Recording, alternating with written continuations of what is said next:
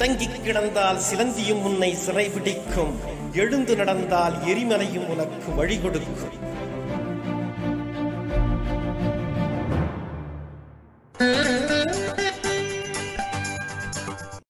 லட்சியவாதிகளை உருவாக்குவதே எனது லட்சியம் என்பதனையே இலட்சியமாக கொண்டு பல லட்சம் மாணவர்களிடையே எழுச்சி உரையாற்றி தன்னம்பிக்கையை வளர்த்து வரும் சொல்லின் செல்வர் சிந்தனை கவிஞர் முனைவர் கவிதாசன் அவர்களால் கடந்த இரண்டாயிரமாவது ஆண்டு கோவை மாநகரில் உருவாக்கப்பட்டதுதான் தன்னம்பிக்கை அறக்கட்டளை. தன்னம்பிக்கை அறக்கட்டளையின் நிர்வாக அரங்காவலரான முனைவர் கவிதாசன் அவர்கள் இன்றைய இளைய தலைமுறைக்காக தன்னம்பிக்கை பயிலரங்கங்களை தொடர்ந்து இலவசமாக நடத்தி வருகிறார். முனைவர் கவிதாசன் அவர்கள் கோயம்புத்தூர் ரூட்ஸ் குழும நிறுவனங்களின் இயக்குநர்களில் ஒருவராகவும் மேட்டுப்பாளையத்தை அடுத்து கல்லாறு பகுதியில் அமைந்துள்ள சச்சிதானந்த ஜோதினிகேதன் பன்னாட்டு பள்ளியின் செயலராகவும் விளங்குகிறார். கோயம்புத்தூர் ரூட்ஸ் குழும நிறுவனங்களின் தலைவரும் சச்சிதானந்த ஜோதினிகேதன் பன்னாட்டு பள்ளியின் நிர்வாக அறங்காவலருமான திரு கே. ராமசாமி அவர்கள் கம்பருக்கு சடையப்ப வள்ளல் போல தன்னை போற்றி வருவதனை பெருமையாக கருதுகிறார் சிந்தனை கவிஞர் கவிதாசன் அவர்கள். தன்னம்பிக்கை வாசகங்கள் அடங்கிய சுவரொட்டிகளை வெளியிடுதல் இலவசமாக தன்னம்பிக்கை நூல்கள் வெளியிட்டு அதனை பள்ளி கல்லூரி மாணவர்களுக்கு வழங்குதல் போன்ற பணிகள் தன்னம்பிக்கை அறக்கட்டளை மூலம் நடைபெற்று வருகிறது. தன்னம்பிக்கைக்காக ஒரு அறக்கட்டளை செயல்படுவது இது ஒன்றுதான் என்பது குறிப்பிடத்தக்கது. கடந்த அக்டோபர் பதினைந்தாம் நாள் மேனாள் குடியரசுத் தலைவர் Bharat Ratna A P J Abdul Kalam அவர்களின் பிறந்த நாளை முன்னிட்டு மாநில அளவிலான சொல்லாற்றல் போட்டி தன்னம்பிக்கை அறக்கட்டளை சார்பில் நடத்தப்பட்டது. திருவள்ளுவர் கம்பர் ஔவையார் பாரதியார் பாரதிதாசன் ஆகியோரின் அறக்கருத்துக்களை தங்கள் பேச்சாற்றல் வழி மாணவ மாணவியர் வெளிப்படுத்தும் வகையில் போட்டி அமைக்கப்பட்டிருந்தது. தமிழ்நாட்டின் பல பகுதிகளிலிருந்து மாணவ மாணவியர் விருப்பத்துடன் இப்போட்டியில் கலந்து கொண்டனர். போட்டியில் பங்கு கொண்டு வெற்றி பெற்ற மாணவ மாணவியரின் காணொலிகள் இரண்டு தொகுதிகளாக வெளியிடப்படுகின்றன. இக்காணொலியில் முதல் தொகுதி உரைகள் இடம்பெறுகின்றன.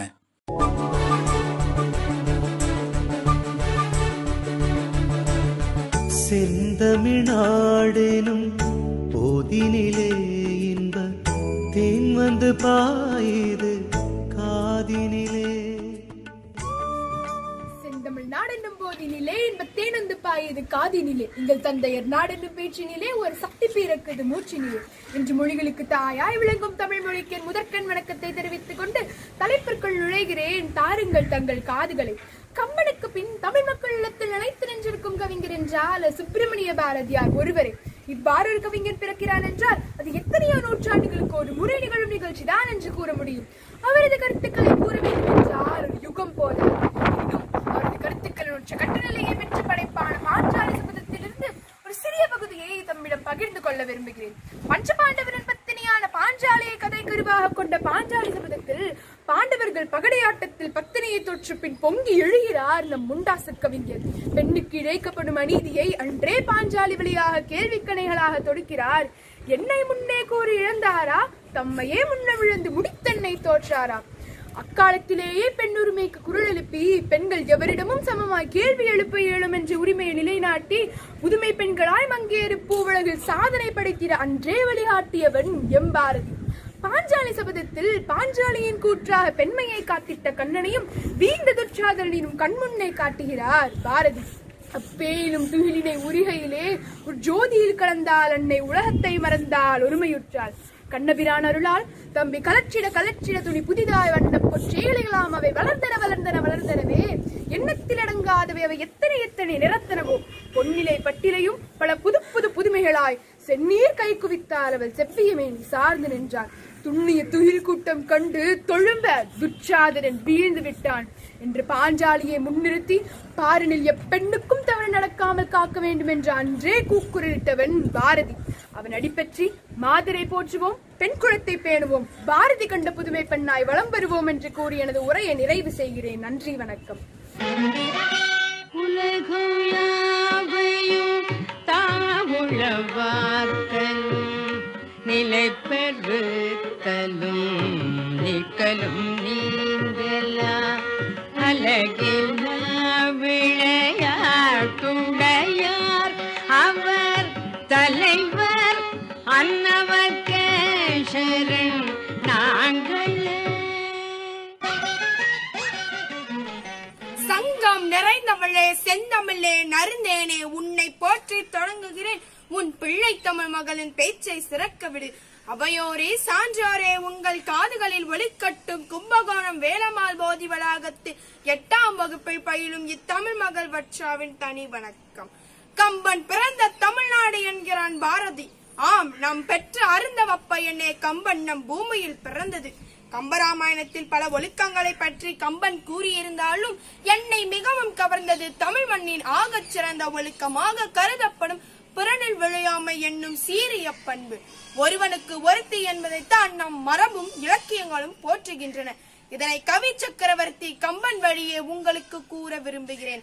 ராமன் தன் ஏகபத்தினி விரதம் என்கிற நெறியை சீதையிடம் கூறியிருக்கிறான். அதை நினைவுபடுத்தும் விதமாக சீதை அனுமனிடம் பின்வருமாறு கூறினாள். வந்த என்னை கைப்பற்றிய வைகல்வா இந்த இப்பிறவிக்கு இருமாதிரை. சிந்தையாலும் தொடேன் என்ற செவ்வரம் தந்த வார்த்தை திருச்சேவி சாற்றுவாய் என்கிறாள். இதன் பொருள் ராமன் மிதிலையில் என்னை கைப்பிடித்த போது ஓர் உறுதியளித்தான் இந்த இப்பிறவையில் இன்னொரு பெண்ணை உள்ளத்தாலும் தொடமாட்டேன் என்பதாகும்.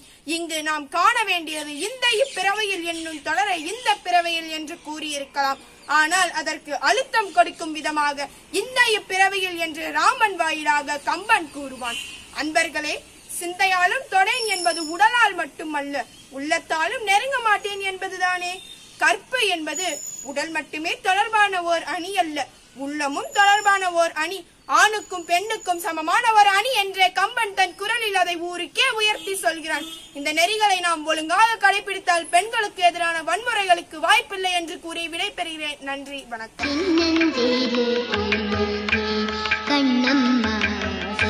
செல்வ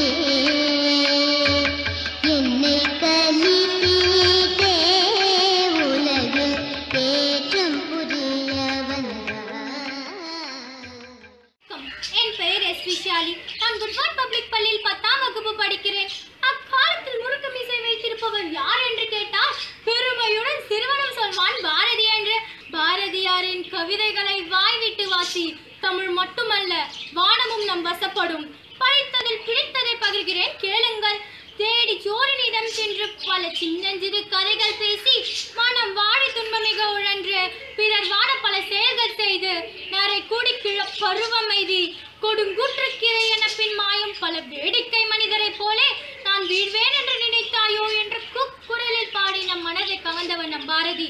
குழிக்குள் ஆயுதம் வைத்து தாக்கியவர்களிடையில் மொழிக்குள் ஆயுதம் வைத்து தாக்கியவன் நம் பாரதி. பட்டினி கிடந்து பசியால் மெலிந்து பால் பட நேர்ந்திடனும் கட்டி இழுத்து கால் கை முறிந்து அங்கம் விழந்து இழந்து துடித்தனினும் பொங்கு தமிழை பேச மறப்பேனோ என்று கர்ஜித்த காலை நம் பாரதி. பைந்தமிழ் தேர்ப்பாகன் பாரதி சிந்தமிழ் தேனி பாரதி மரணிக்காத மரணம் பெற்றவன் பாரதி புதைக்கப்படாத கனவுகளை கொண்டவன் பாரதி. நேர்பட பேசி நைய புடைத்து போர் தொழில் பழகென்றவன் பாரதி. தமிழரின் வீரத்தின் கொஞ்சமும் மிச்சமில்லாமல் பிறந்து வாழ்ந்தவன் பாரதி. தமிழால் பாரதி தகுதி பெற்றார். தமிழ் பாரதியார் தகுதி பெற்றது. என்றன் முன்னே தீய வினை பயன்கள் என்றும் உள்ள அழிந்திடுதல் வேண்டும். இனி என்னை புதிய உயிராக்கி எனக்கேதும் கவலை அற செய்து மதி தன்னை மிக தெளிவு செய்து என்றும் சந்தோஷம் கொண்டிருக்கச் செய்வாய் என்றும் சந்தோஷம் கொண்டிருக்கச் செய்வாய். ஹ,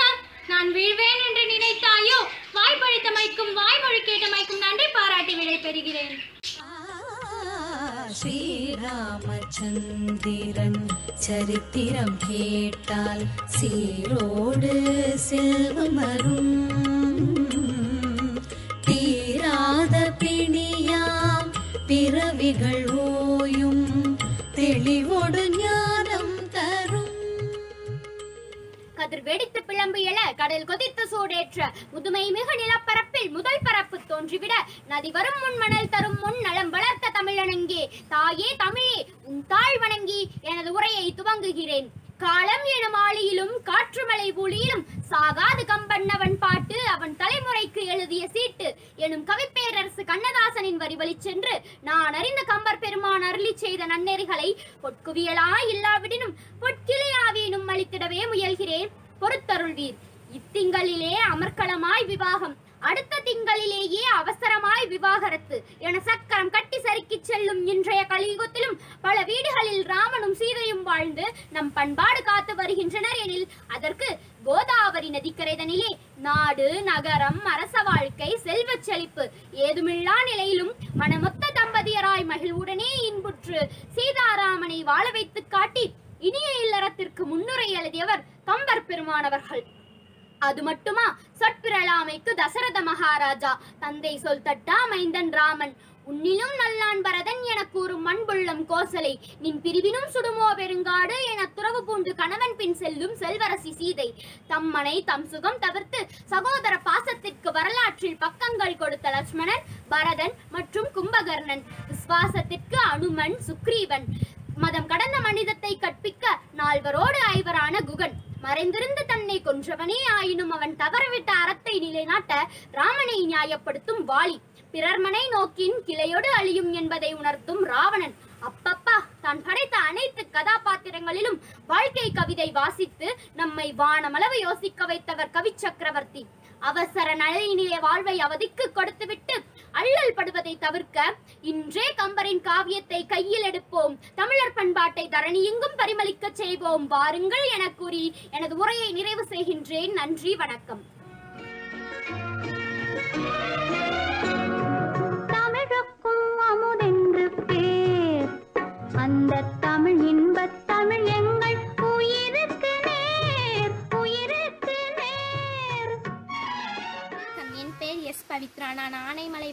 பெரியபோது ஊராட்சியில் அரசு உயர்நிலைப் பள்ளியில் பத்தாம் வகுப்பு பயின்று வருகிறேன்? வையத்துள் வாழ்வாங்கு வாழ்வான் வானுரையும் தெய்வத்துள் வைக்கப்படும் என்ற வள்ளுவரின் வாக்கிற்கிணங்க இவ்வுலகில் தோன்றியவர் புரட்சி கவிஞர் பாவேந்தர் பாரதிதாசன். இருபதாம் நூற்றாண்டுகளில் வாழ்ந்த கவிஞர்களுள் தமிழை தம் உயிரென கூறிய முதல் கவிஞர் இவரே.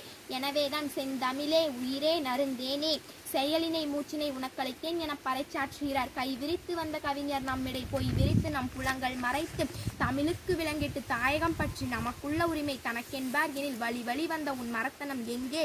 மொழி பற்றெங்கே? விடி பூற்றெழுக என இளைஞர்களுக்கு தமிழ் பற்றையும் தமிழ் தேசத்தின் மீது பற்றிய சிந்தனையும் தூண்டியவர் இவர். தொண்டு செய்வோம். துறைதோறும் துறைதோறும் துடித்தெழுந்தேன். உயிர் தமிழ்தாய் குடியில் செய்யும் வெற்றியெல்லாம் உந்தன் வெற்றி. அயராதே எழுந்திரு நீ இளந்தமிழை அறஞ்செய்வாய் என துறைதோறும் தமிழுக்கு தொண்டாற்ற இளந்தமிழர்களை அழைத்தார். அதாவது ஒரு இனம் அழிய வேண்டும் என்று சொன்னால் அதன் மொழி அழிய வேண்டும். அதனால் தான் நம் தாய்மொழியான தமிழினை காக்க இவ்வாறு கூறியிருக்கிறார். இது மட்டுமல்லாமல் எங்கள் வாழ்வும் எங்கள் வளமும் மங்காத தமிழ் என்று சங்கே முழங்கு. எங்கள் பகைவர் எங்கோ மறைந்தார். இங்குள்ள தமிழர்கள் ஒன்றாதல் கண்டு திங்களோடும் செலும் பருதி தன்னோடும் விண்ணோடும் விக்களோடும் மங்குள் கடற் பிறந்த இவற்றோடும் பிறந்த தமிழுடன் பிறந்த பிறந்தோம் நாங்கள் என்று உணர்ச்சிகரமாக கூறியிருக்கிறார். பாரதிதாசனின் தமிழ் உணர்வு அளப்பரியது. தமிழ் தலைக்கவும் தமிழ் பெருமை நிலைக்கவும் தமிழ்நாடு செழிக்கவும் பாடியவர்கள் ஒப்பரும் மிக்கரும் இல்லாத கவிஞர் இவரே. அவருடைய பாடல் கவிதைகளை பார்த்தால் இவர் தமிழை எந்த அளவு உயர்வான நிலையில் வைத்திருக்கிறார் என்பது தெரியும். நாடெல்லாம் வீடெல்லாம் மக்களின் நிறைய கூடெல்லாம் ஏடெல்லாம் இன்பத் தமிழ் மணக்க வேண்டும் என்பதற்காகவும் உடல் மண்ணுக்கு உயிர் தமிழுக்கு என்று வாழ்ந்தவரும் பாவேந்தர் பாரதிதாசன். இன்றைக்கு பாரதிதாசனோ தமிழையே அமிர்தமாக படைத்தார். அதனால் தான் தமிழுக்கும் அமுதென்று பேர். அந்த தமிழின்பத் தமிழெங்கள் உயிருக்கு நே என பாடினார். நன்றி.